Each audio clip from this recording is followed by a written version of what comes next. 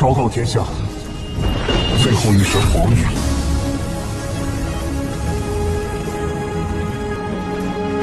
昭告天下，陛下已昭告天下，陛下已统尽七神。 Halo guys, selamat berjumpa kembali di Akur Channel. Kali ini Mimin akan membagikan kembali alur cerita Donghua yang berjudul Perfect World episode ke-123. Namun tak bosan-bosannya, Mimin ingin mengucapkan maaf yang sebesar-besarnya dikarenakan untuk video dan alur ceritanya tidak sama.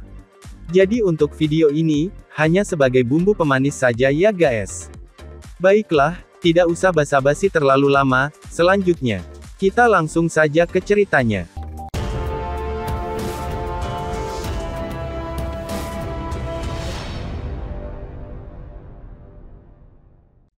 Si Hao duduk di tepi sungai, batang rumput emas di depannya yang memiliki lima daun, perlahan larut dalam cairan emas, yang mengandung kekuatan petir yang tak ada habisnya.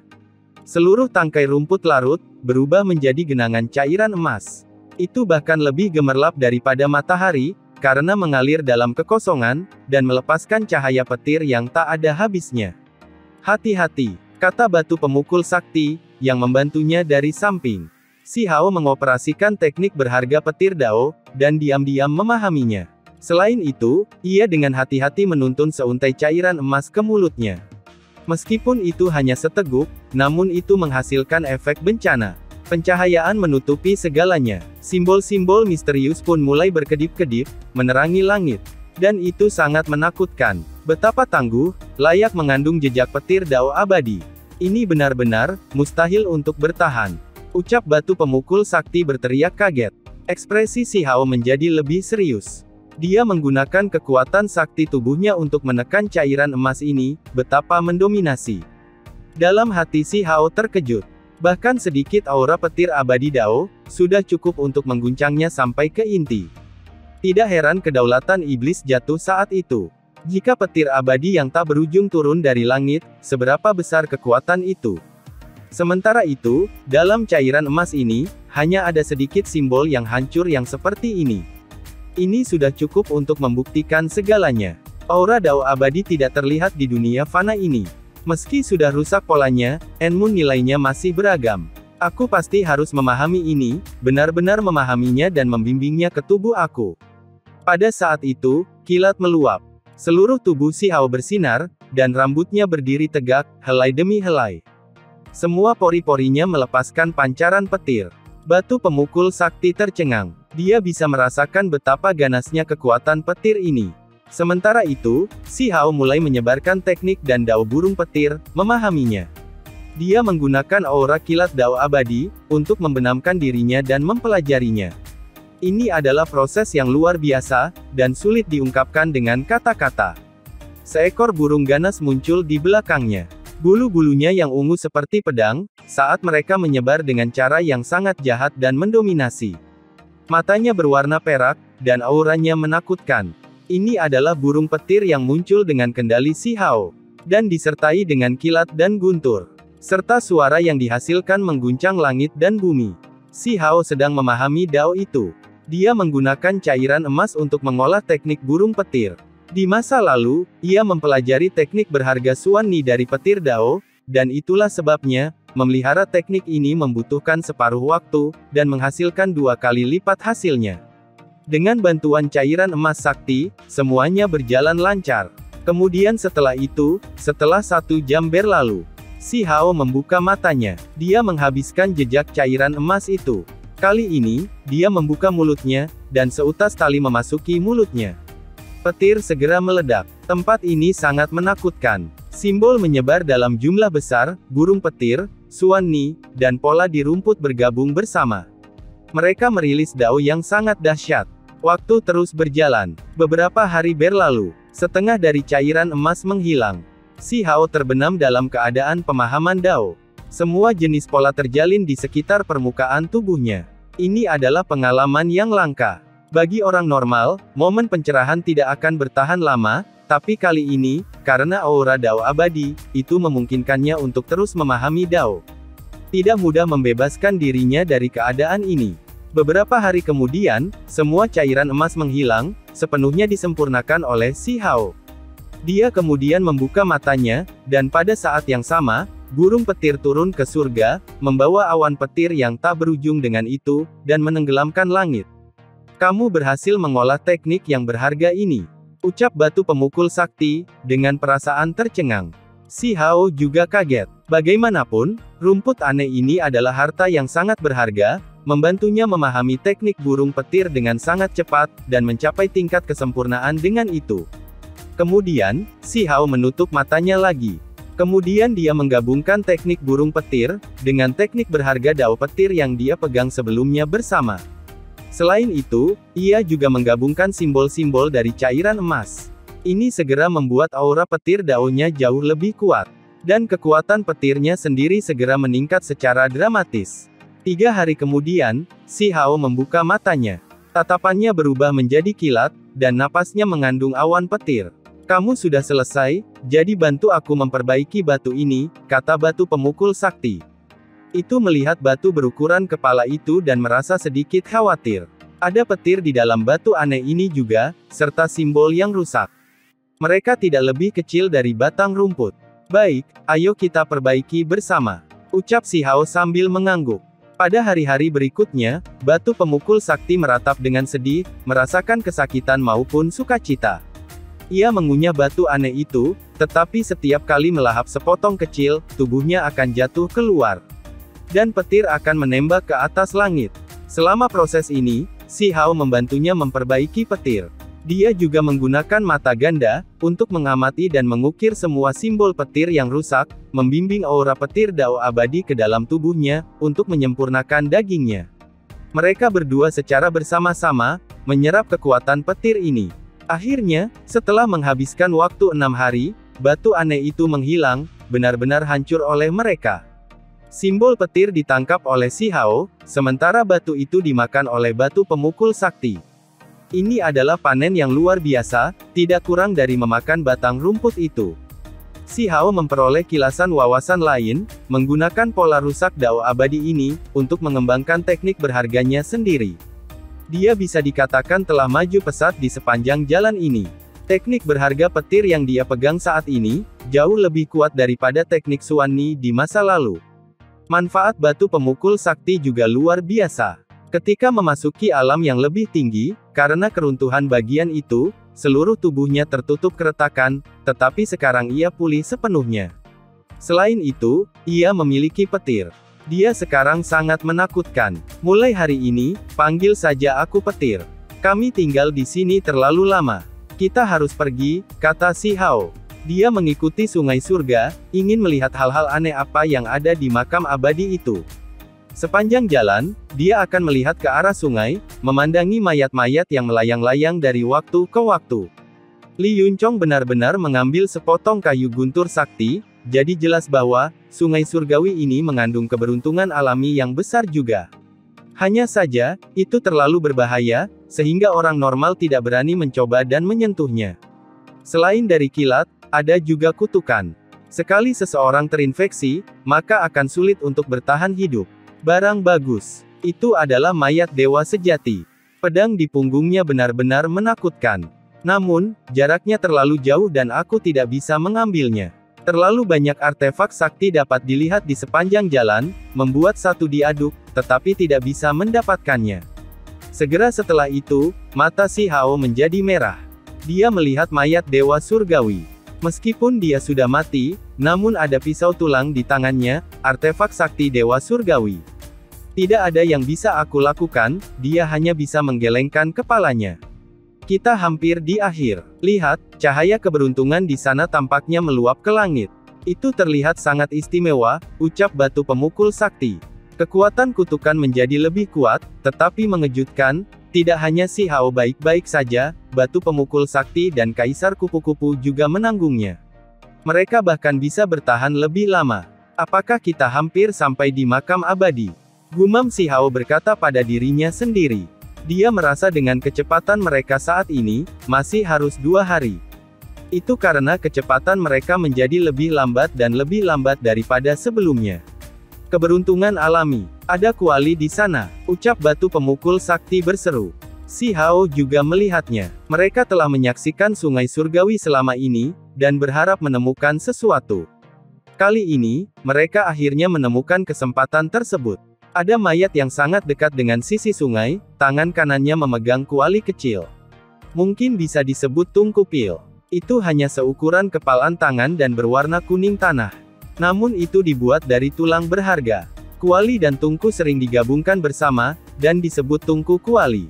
Yang ini persis seperti ini.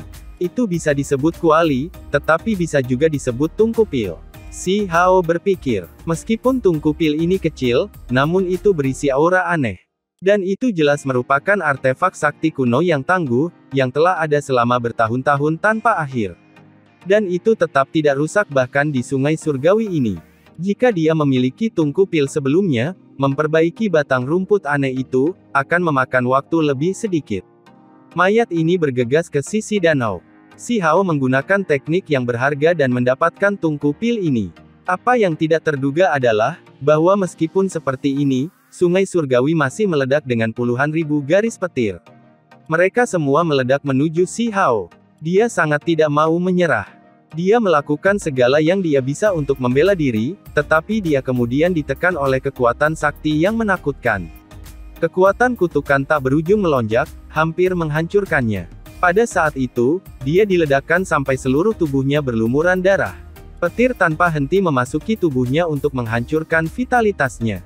Dan ada kekuatan kutukan yang mengelilinginya juga. Ini semua dikarenakan oleh mayat itu yang melayang agak dekat, sehingga kekuatan sungai surgawi tidak pada puncaknya. Si Hao menempatkan batu pemukul sakti dan kupu-kupu kaisar, ke lorong-lorong surgawi dan menanggung ini sendirian, menggunakan simbol-simbolnya untuk dengan cepat mengangkat tungku pil itu.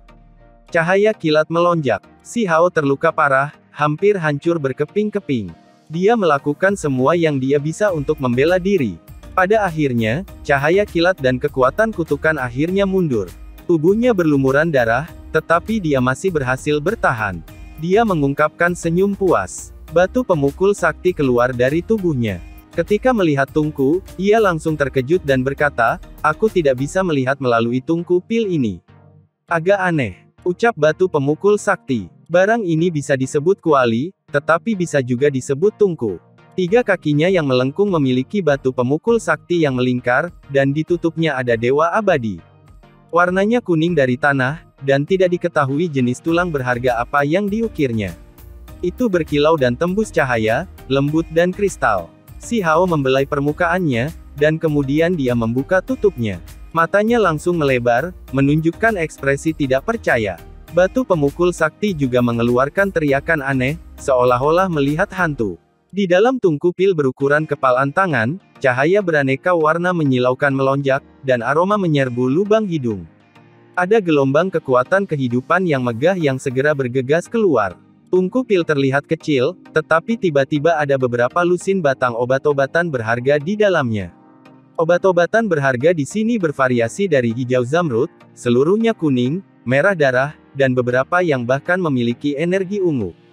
Yang paling penting adalah, obat-obatan ini masih memiliki vitalitas, membawa tetesan embun. Mereka semua hidup, Seolah-olah mereka baru saja dicabut dari ladang obat. Tungku pil macam apa ini? Setelah bertahun-tahun tanpa akhir, obat-obatan ini terlihat seperti baru saja dipetik. Ini terlalu konyol, ucap batu pemukul sakti tidak mengerti. Si Hao juga terkejut, karena dia secara pribadi melihat mayat itu sebelumnya. Itu ada pada pakaian dari zaman kuno, jadi itu pasti mengalir melalui sungai ini selama bertahun-tahun tanpa akhir.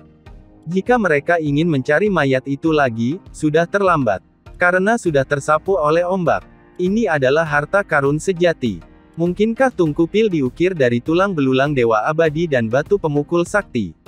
Ucap batu pemukul sakti bergumam. Dia sudah pernah dengar sebelumnya bahwa, beberapa tulang makhluk terlarang, dapat menghasilkan artefak sakti yang menakjubkan. Si Hao menggelengkan kepalanya. Lupakan tulang naga sejati, hanya setetes darah, atau skala yang mustahil ditemukan di seluruh dunia. Segera setelah itu, ekspresinya membeku lagi. Dia sangat terkejut. Dengan suara gemetar, dia berkata, obat-obatan ini. Dia dengan santai mengeluarkan sebatang obat kuno yang memiliki tetesan embun berkilauan pada daunnya, dan energi ungu naik dari kelopaknya, segera menemukan bahwa ini sebenarnya obat suci. Obat suci, mulut dan lidah si Hao terasa kering. Pikirannya benar-benar hancur. Tangkai acak yang diambilnya dari tungku pil adalah obat yang tak terduga. Dan ini tak terbayangkan. Aroma obat yang kaya melayang keluar. Ini adalah seluruh tanaman ungu yang berkilau. Tingginya hanya satu kaki. Daunnya kecil dan tembus cahaya. Setiap orang akan melihatnya seperti bulan sabit ungu. Itu seperti pohon kecil yang melengkung dengan esensi spiritual yang kaya, menghasilkan beberapa bulan sabit ungu yang mengalir, dengan kabut warna-warni ungu kabur. Itu sangat indah. Bulan kuncup merah, sebenarnya berevolusi menjadi obat suci. Ini awalnya adalah jenis pengobatan spiritual. Meskipun dikatakan dapat berevolusi, itu hanya akan berubah menjadi obat spiritual kelas atas. Namun, namun yang ini benar-benar menjadi obat suci.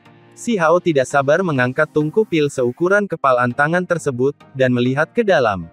Tulang berharga yang lembut dan berkilau dicampur dengan cahaya, dan warna di dalamnya. Beberapa lusin jenis obat-obatan berharga melonjak dengan kekuatan hidup. Dia mengambil tangkai lain yang berwarna merah seperti darah. Itu adalah burung layang-layang yang menumbuhkan akar, yang tampak seperti diukir dari berlian darah. Aroma obat yang kaya juga keluar dari sana. Burung pipit darah legendaris yang akan menjadi obat suci. Mulut si Hao melebar, merasa bahwa ini agak sulit dipercaya. Tungku pil ini berisi beberapa lusin batang obat. Mungkinkah mereka semua begitu menentang surga? Dia tidak bisa mempercayainya. Jika mereka semua adalah obat-obatan suci atau hampir menjadi obat-obatan suci, itu sudah cukup untuk mengejutkan dunia yang lebih tinggi. Tungku kuno ini terlalu luar biasa. Dia mulai curiga. Mungkinkah tungku seukuran kepalan tangan ini, benar-benar telah diukir dari tulang batu pemukul sakti? Batu pemukul sakti itu berteriak dengan aneh.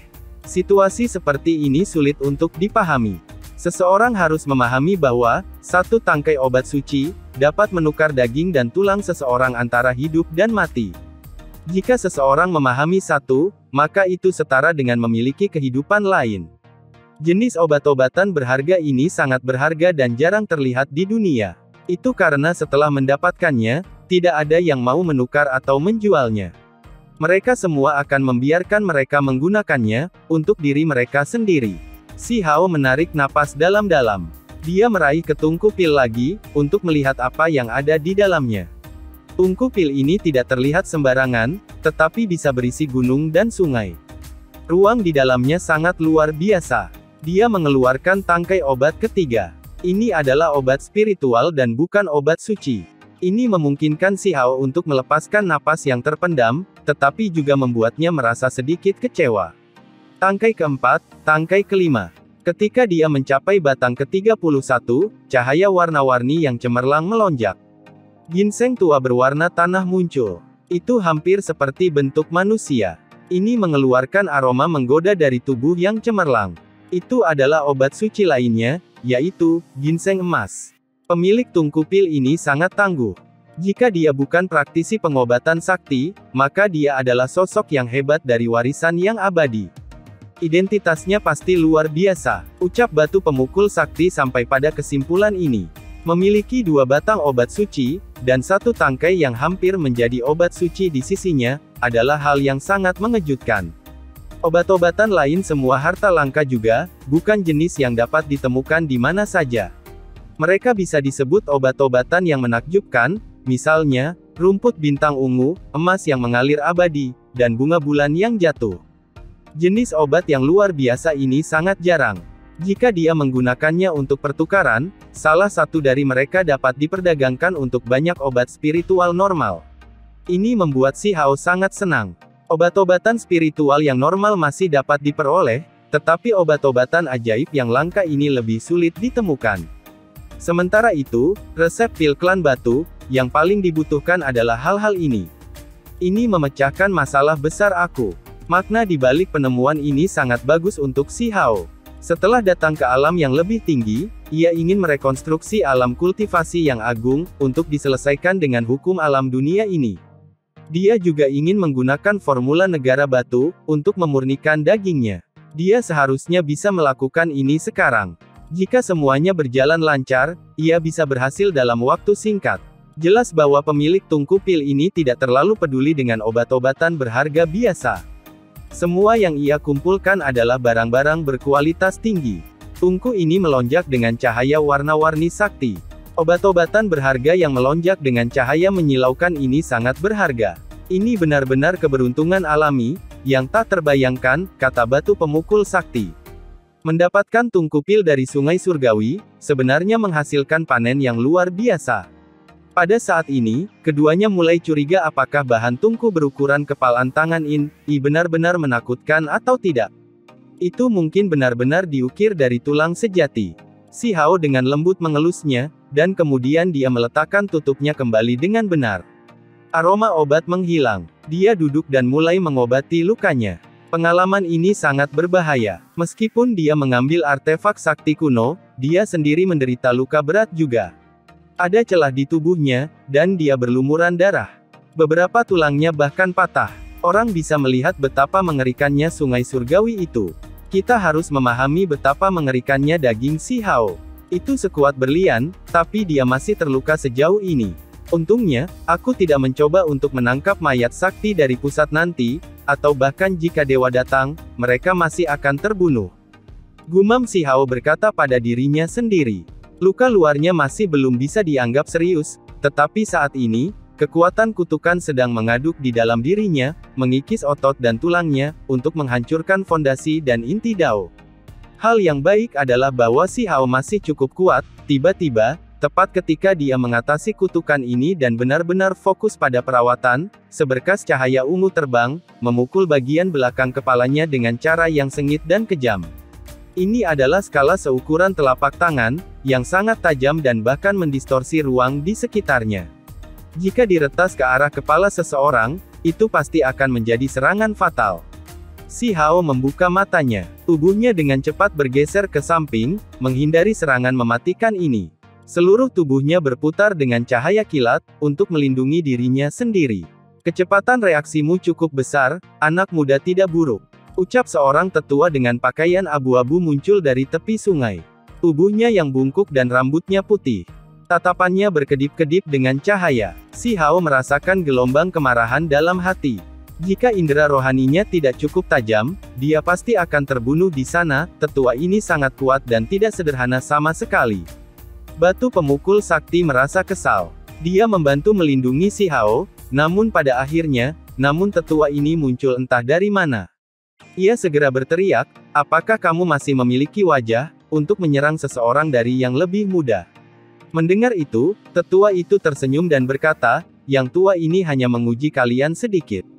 Kalian semua memang luar biasa. Si Hao tidak mengatakan apa-apa. Dia dengan hati-hati mengamati pihak lain, dan kemudian dia menjadi semakin takut.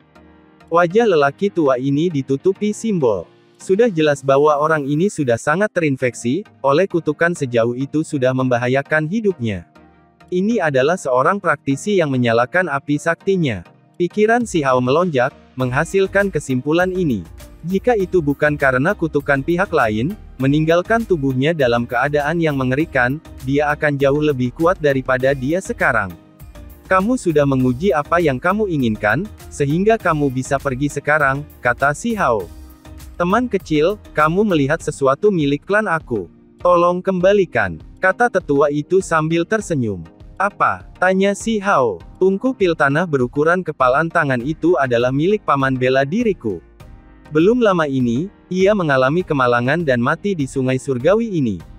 Tolong kembalikan, kata tetua tersebut. Dengan senyumnya yang cukup kuat. Batu pemukul sakti segera menjadi marah setelah mendengar ini. Apakah kamu tidak tahu malu? Apakah paman bela diri kamu adalah orang kuno? Kamu telah melakukan serangan tersembunyi, dan kamu juga masih ingin tungku pil, apakah kamu tidak tersesat? Ketika si Hao mengambil tungku pil, cahaya kilat bergegas ke langit, menciptakan keributan yang cukup, mengejutkan makhluk ini yang telah menyalakan api saktinya, dan memungkinkan dia untuk secara diam-diam memperhatikannya. Teman kecil, mohon bekerja sama, ini benar-benar adalah objek suci klan aku. Aku meminta kamu untuk mengembalikannya. Kata tetua itu, sambil berjalan maju. Sedikit api sakti memancar di sekitarnya. Dia tidak berani bertindak gegabah, karena dia telah terinfeksi parah oleh kutukan itu. Jika bukan karena dukungan harta karun rahasianya, dia akan mati sejak lama. Tak tahu malu, si Hao hanya memiliki dua kata ini untuknya. Pihak lain jelas berbohong untuk mencuri tungku pil misterius ini. Serahkan. Tetua itu mengulurkan tangan, senyum dingin muncul di wajahnya, tidak lagi menyembunyikan apa pun. Dan sepertinya dia akan mengambil tindakan. Sudah cukup, teriak batu pemukul sakti yang kemudian bersinar, dan kemudian berubah menjadi seberkas cahaya, kemudian dia terbang di udara dan berteriak keras, petir tinju. Dia melepaskan ratusan hingga ribuan garis petir, karena setelah melahap batu aneh itu, sekarang ia menangkap kekuatan petir.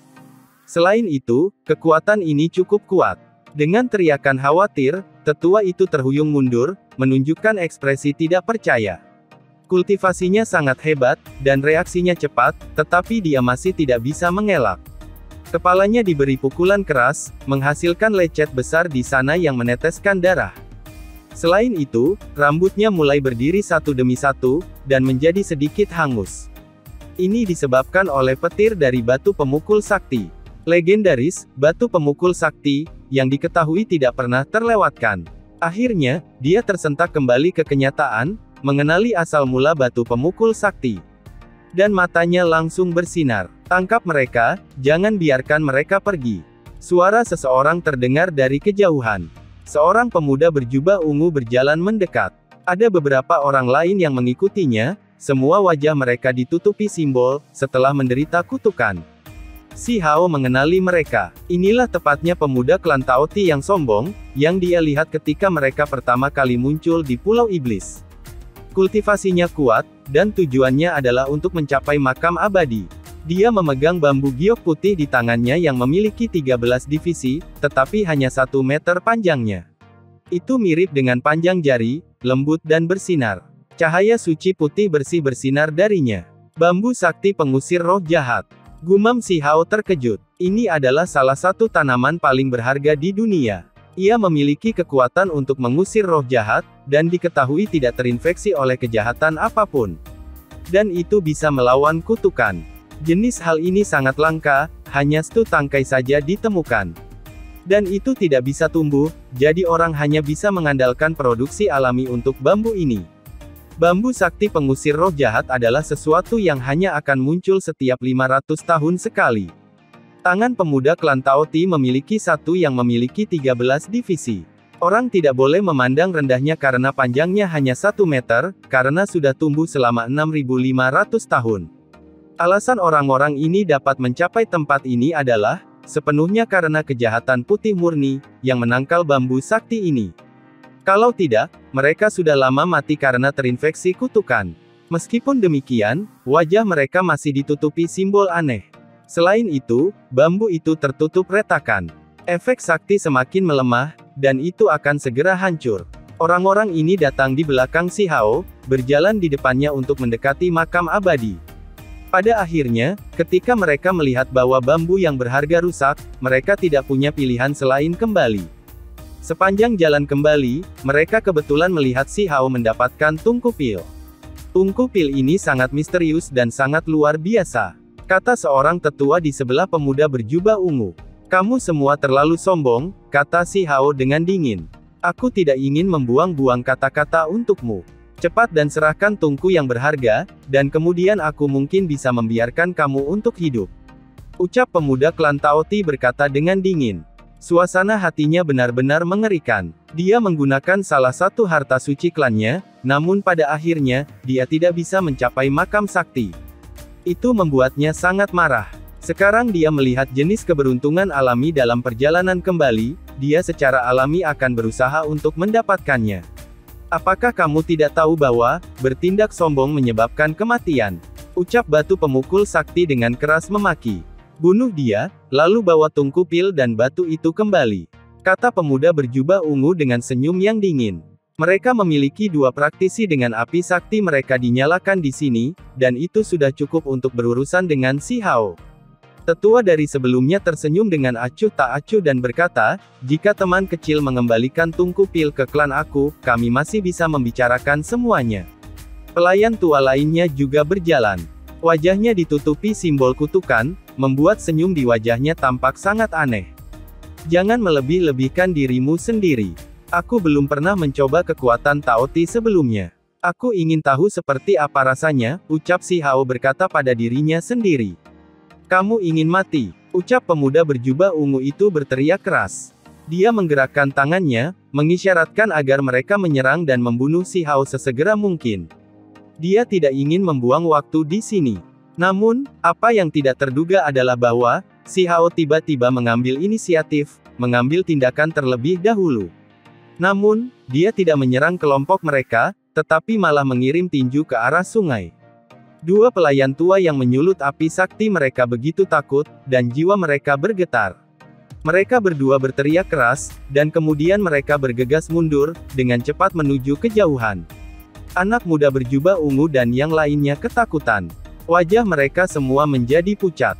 Apakah kamu gila? Melakukan ini pasti mencari kematian. Bahkan jika mereka menggunakan artefak berharga tertinggi, untuk bertahan melawan cahaya petir, mereka masih tidak bisa melindungi diri dari kekuatan kutukan. Itu akan mengundang bencana yang besar. Si Hao tertawa dingin, tidak membalas mereka. Dia segera mengangkat penutup tungku pil, dan kemudian dia bergegas masuk dengan batu pemukul sakti. Kemudian, dia mengaktifkan tungku yang berharga dan berlari. Cahaya kilat meledak dalam ribuan hingga puluhan ribu garis, mengalir tanpa henti. Terlepas dari ini, ada juga kekuatan kutukan yang kaya yang menenggelamkan tempat ini. Seketika itu juga, jeritan sengsara terdengar dari kejauhan. Jelas bahwa orang-orang muda berjubah ungu segera berubah menjadi abu, dan sekarat di sana. Sementara itu, Si Hao juga menggigil di dalam. Lautan kilat di luar tak ada habisnya, menyentak tungku pil sampai gemetar hebat dan bergemuruh karena suara. Bagian dalam terus bersinar dengan simbol tak berujung. Kamu harus memahami bahwa, dia tidak bertindak terlalu impulsif, dan hanya mengirim kepalaan ke arah sungai, tetapi hasil yang mengerikan masih terjadi. Bahkan jika dewa datang, mereka masih akan dibunuh. Itu karena petir ini mengandung jejak dao aura abadi. Untungnya, tungku pil ini sangat misterius, sebenarnya bertahan melawan semuanya. Si Hao dan yang lainnya bersembunyi di dalam, dan untuk sementara tidak menghadapi bahaya. Sinar petir bersinar tanpa henti, berlanjut selama beberapa menit sebelum kilat yang menutupi langit menghilang. Setelah itu, tempat ini ini pun telah kembali seperti semula. Si Hao dengan hati-hati membuka tutup tungku dan pergi keluar. Namun, dia terhuyung dan jatuh ke tanah. Meskipun cahaya kilat hilang, kutukan itu tidak menyebar, dan masih mengikat di sekitar tungku yang berharga, dan menunggunya untuk keluar. Si Hao segera duduk, mengambil semua kutukan itu sendiri, menggunakan tubuhnya untuk bertahan melawannya. Darah terus-menerus mengalir keluar dari mulutnya. Dia akan pingsan beberapa kali, dan nyala hidupnya menjadi redup, dan hampir padam. Hanya setelah satu hari berlalu, dia melepaskan napas dan perlahan-lahan memulihkan sedikit semangat. Tubuh dan daunnya hampir tersebar di sini. Kemudian, dia duduk lagi, menggunakan waktu dua hari dua malam untuk mengobati lukanya, dan baru kemudian dia berangsur pulih, semangatnya berubah menjadi lebih baik dan tubuhnya mulai bersinar. Kalian benar-benar seperti kecoa, gumam si Hao yang kemudian pergi untuk mencari mereka, dan kemudian dia memperhatikan bahwa, pemuda berjubah ungu dan tetua itu, setelah tungku pil sebelumnya masih hidup, masing-masing dari mereka mengambil sepotong bambu sakti penangkal iblis jahat. Yang lain semua berubah menjadi abu di bawah cahaya kilat, dengan beberapa jatuh ke kutukan. Terlepas dari ini, ada enam atau tujuh artefak sakti kuno yang semuanya hancur berkeping-keping.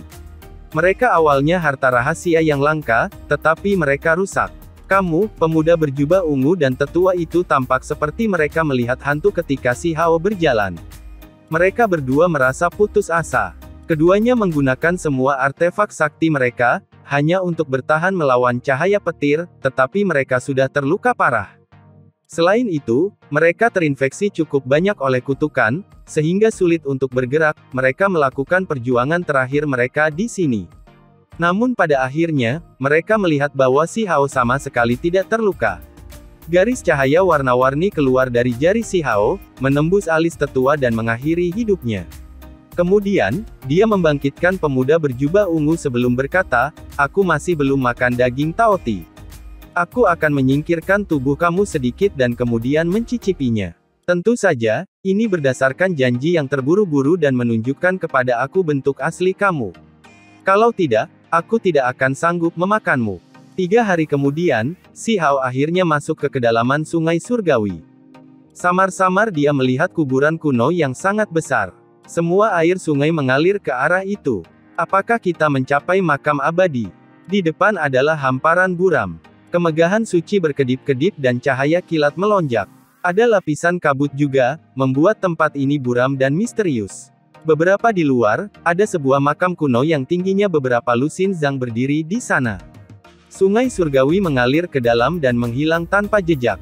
Tentu saja, adegan ini cukup tidak jelas, dan sulit untuk melihat semuanya dengan jelas. Itu karena simbol kutukan, kemegahan suci, dan kilat terjalin bersama, menghalangi pandangannya. Namun, dia yakin bahwa mereka tiba di tempat tujuan. Di sebelah sisi si Hao adalah pemuda Taoti. Dia sangat besar dan ditutupi sisik ungu yang berkelap-kelip.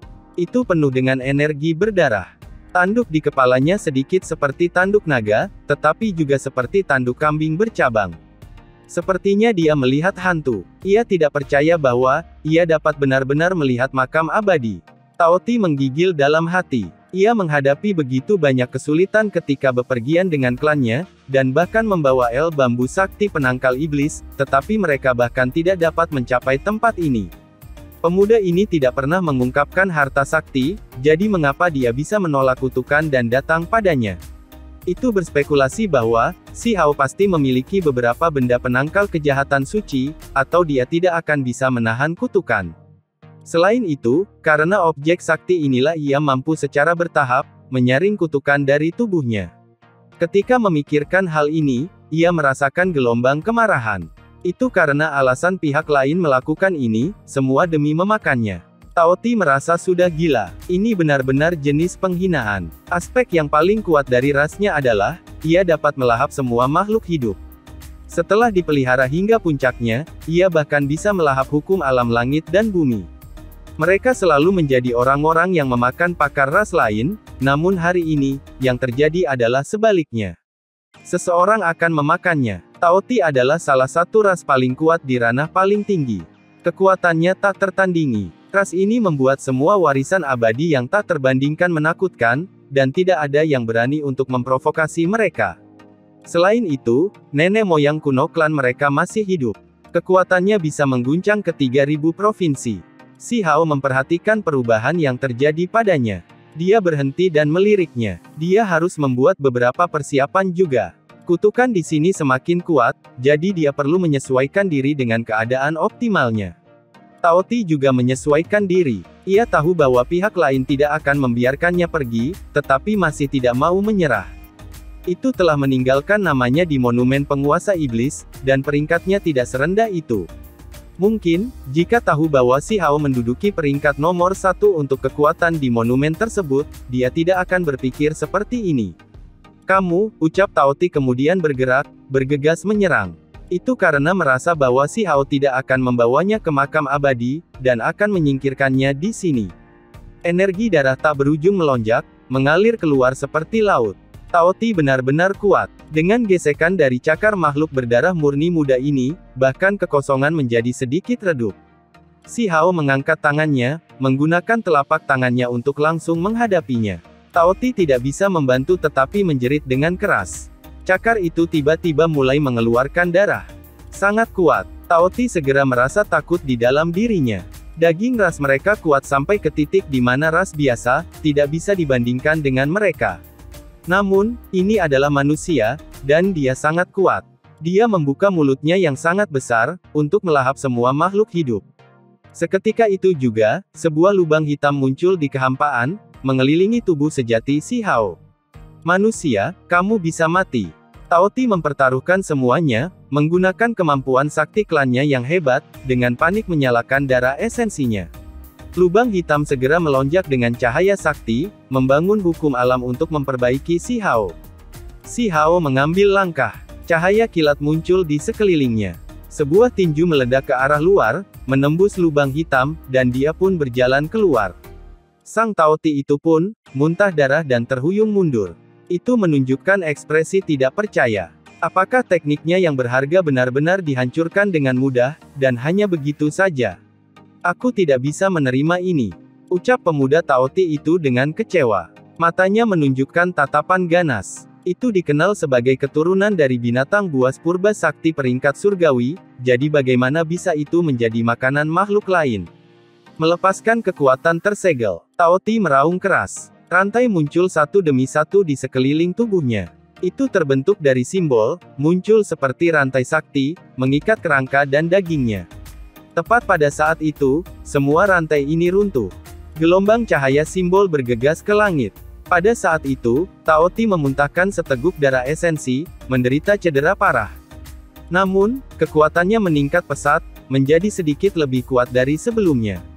Rasnya memiliki teknik rahasia yang membangun simbol, dan menyelamatkan kekuatan sakti, menekan diri sendiri. Ketika mereka melepaskan semuanya pada saat kritis untuk menyerang wilayah kultivasi yang lebih tinggi, mereka bisa segera berhasil. Si Hao terkejut dan berkata, aku meremehkanmu. Hanya dengan begini kamu tidak akan membuatku kecewa. Aku menekan diriku untuk menyalakan api sakti, tapi sekarang, fondasi daoku sendiri hancur. Kamu harus membayar harganya, ucap pemuda Taoti itu meraung. Energi darahnya melonjak, saat ia melemparkannya dengan ganas. Seluruh tubuhnya ditutupi simbol yang indah. Kali ini, ia bertukar beberapa lusin serangan dengan si Hao. Pertempuran menjadi semakin intens. Itu sangat ganas. Pada akhirnya, mereka berhasil menembus 100 gerakan, dan meledak sepenuhnya. Kamu menjadi kuat. Gumam si Hao terkejut. Saat ini, dia merasa bahwa dia layak menjadi Taoti yang legendaris.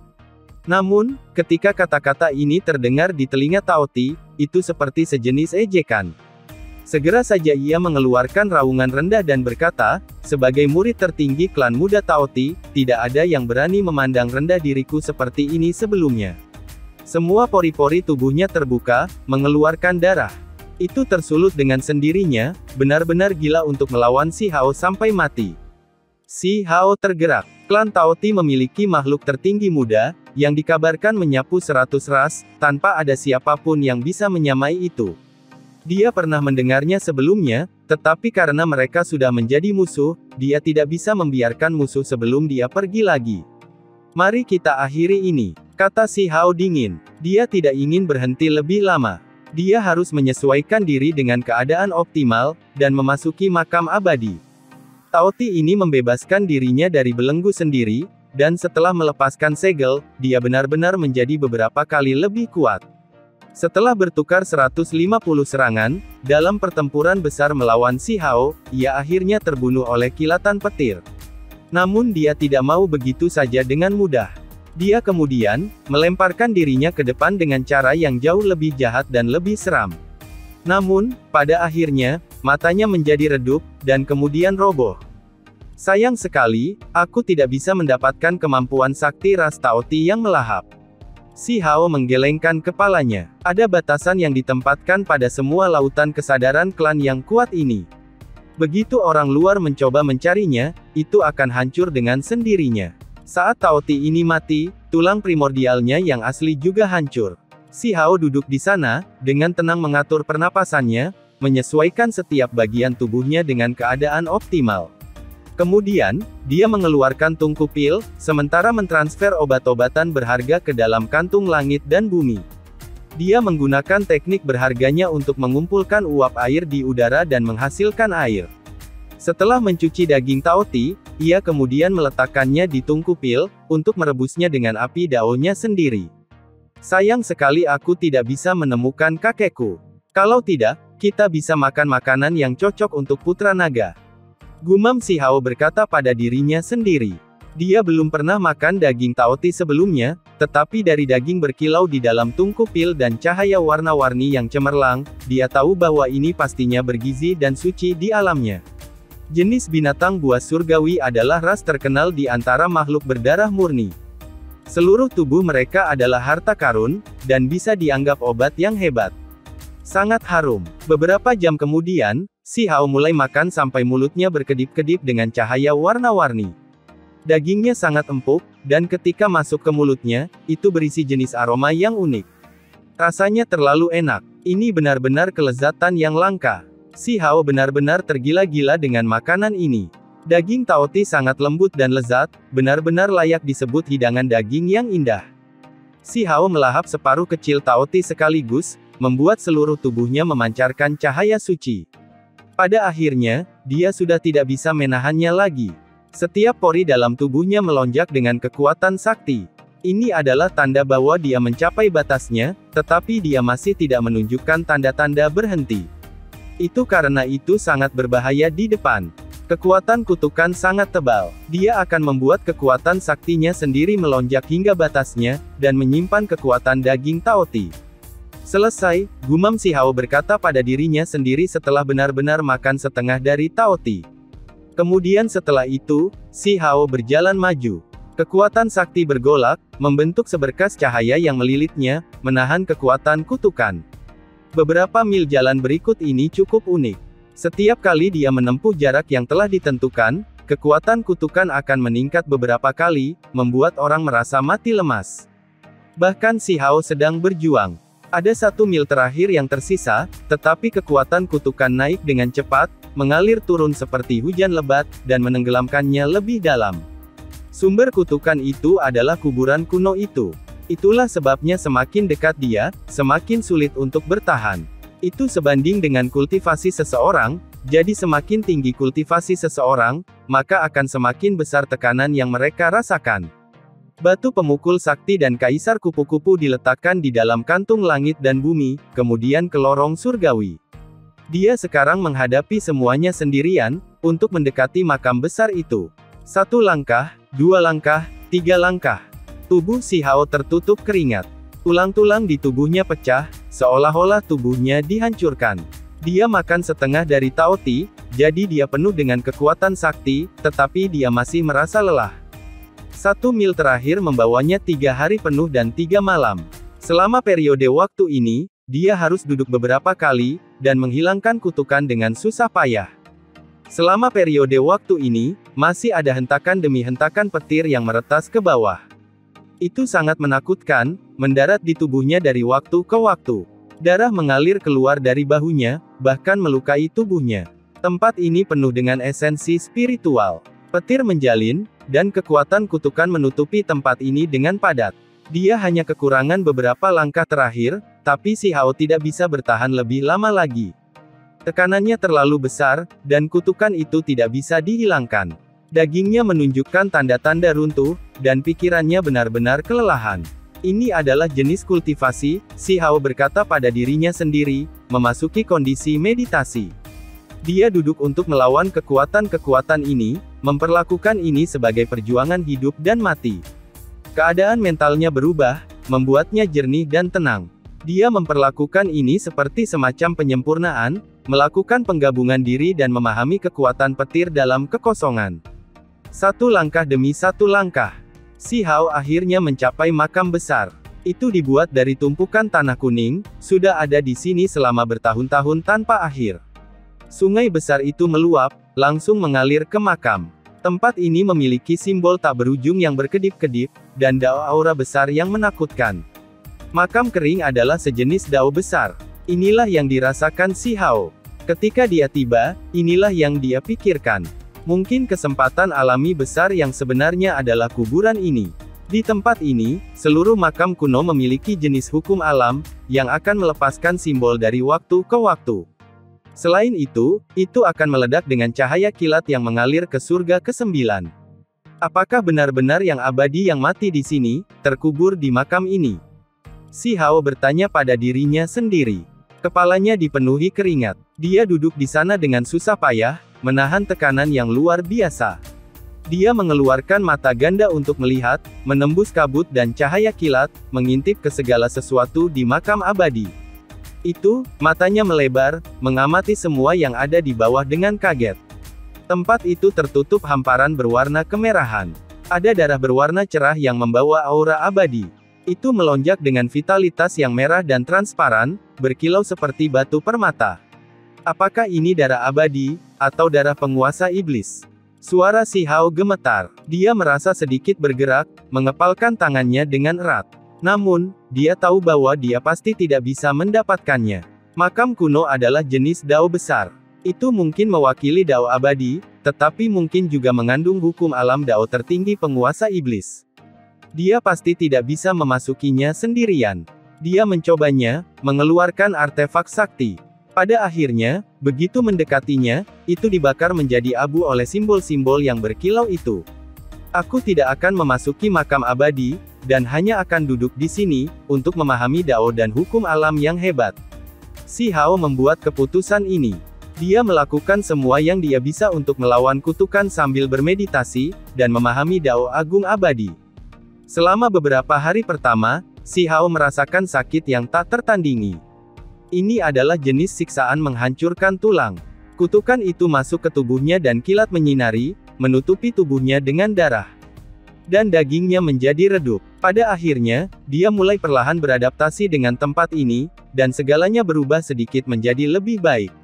Selain itu, dari waktu ke waktu, ia menangkap jejak Dao, dan ia mempelajari jejak-jejak ini.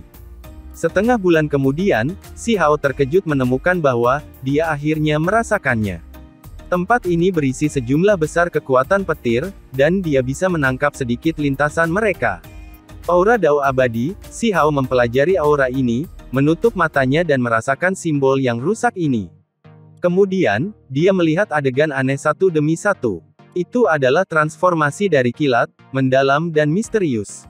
Petir, ia memiliki kehidupan, berubah menjadi tanaman yang mengandung vitalitas yang berkembang.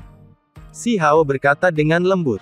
Inilah yang dia pahami. Petir tidak hanya mengandung kekuatan penghancuran, tetapi juga mewujudkan kehidupan.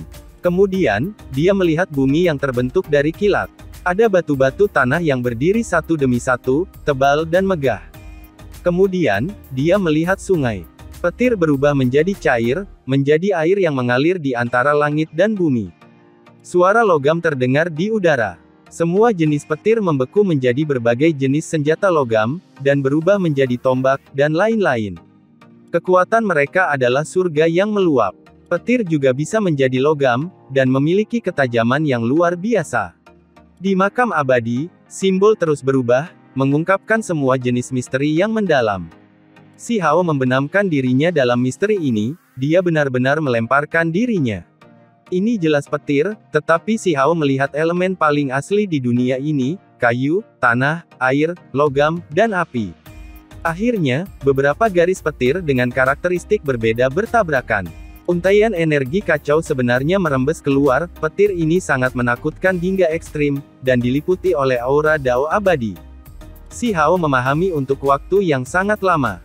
Teknik berharga Dao petir menjadi jauh lebih kuat. Tanpa sadar, sebulan sudah berlalu. Hanya periode pemahaman tunggal ini, yang memakan waktu satu bulan penuh. Jika berita ini keluar, pasti akan membuat orang lain tercengang. Semua kondisi pemahaman Dao sulit untuk dilanjutkan. Dan itu haruslah menjadi momen wawasan yang singkat. Aku sudah melihat jalannya. Aku tahu bagaimana aku harus mengolah petir Dao. Si Hao berkata dengan lembut. Bulan pemahaman Dao ini, memungkinkan dia untuk melihat perubahan paling mendasar dari petir Dao, tetapi juga perubahan yang paling berharga. Segera setelah itu, tubuh si Hao melonjak dengan api yang membawa aura penghancuran, dan menyala-nyala. Aku sudah memahami satu jenis transformasi mendasar dari Dao api. Bersamaan dengan kehancuran vitalitas yang berkembang, juga cahaya. Inilah tepatnya masalahnya. Tubuhnya tampak seperti mendidih dengan cahaya berapi-api, tapi itu kilat. Ini adalah petir, tetapi berdenyut seperti nyala api, menyala dengan kekuatan besar. Dao petir saat ini yang dia pegang, tanpa diragukan jauh lebih kuat daripada masa lalu. Dia menjadi lebih akrab dengan kilat, petir berubah menjadi api, dan membungkusnya lebih dalam. Si Hao bangun. Setelah memahami transformasi mendasar dan mendalam, dari Dao petir ini, ia tampaknya membentuk semacam hubungan dengan petir Dao abadi di sini. Pengaruh kutukan pada dirinya menjadi lebih lemah juga. Dia bergerak di sekitar makam besar ini, untuk melihat apa yang mungkin ada daerah lainnya. Seketika itu juga, dia melihat ada tanaman yang tak ternilai, yang mengandung simbol petir. Si Hao terkejut. Di sisi lain makam besar ada beberapa tanaman. Ada rumput, semak, dan kuncup bunga yang aneh. Mereka semua membawa pancaran petir, dan berisi simbol-simbol misterius. Dan, adegan ini pun, mengakhiri perjumpaan kita kali ini, terima kasih kepada semua subscriber Akur Channel, yang sudah menyimak sampai dengan akhir ceritanya, semoga semuanya diberikan kesehatan dan kebahagiaan, serta ketabahan, juga diberikan selalu rezeki yang berlimpah, untuk bekal dunia dan akhirat, amin, sampai jumpa di episode selanjutnya ya guys, terima kasih.